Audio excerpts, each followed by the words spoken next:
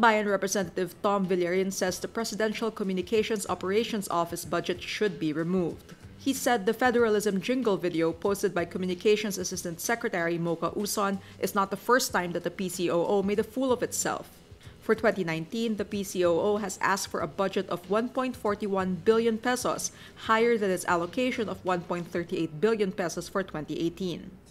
The PCOO has been hounded by several gaffes in the past, with mistakes ranging from wrong grammar to using Norwegia to refer to Norway. Villarin says, quote, if this is where our taxes go, perhaps it's time to remove its budget and use it for what our people truly need. The opposition lawmaker uses the hashtag ZeroBudgetPCOO. Uson posted this video online as a push for federalism. Ano, sayawin mo daw eh. Oh, dito lang ako sa tabi. Sayawin mo. sis! Na tayo! Solo mo. Go. Yan na.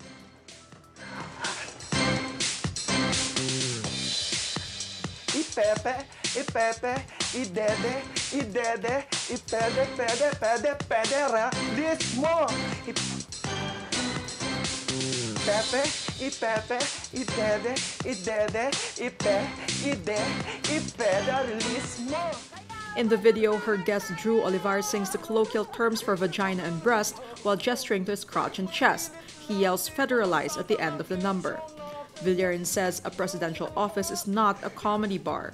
He also refers to the proposed federalism as defective, saying a defective product cannot be sold by an equally defective seller.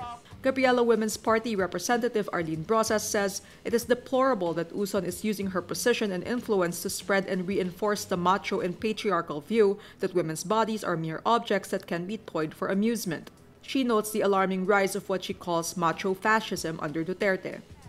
A number of celebrities also slam Uson for the lewd jingle. Actress Chai shared tweets, Mocha Uson knows that we know that she knows that she knows nothing and that she's there for money. Let's not kid around.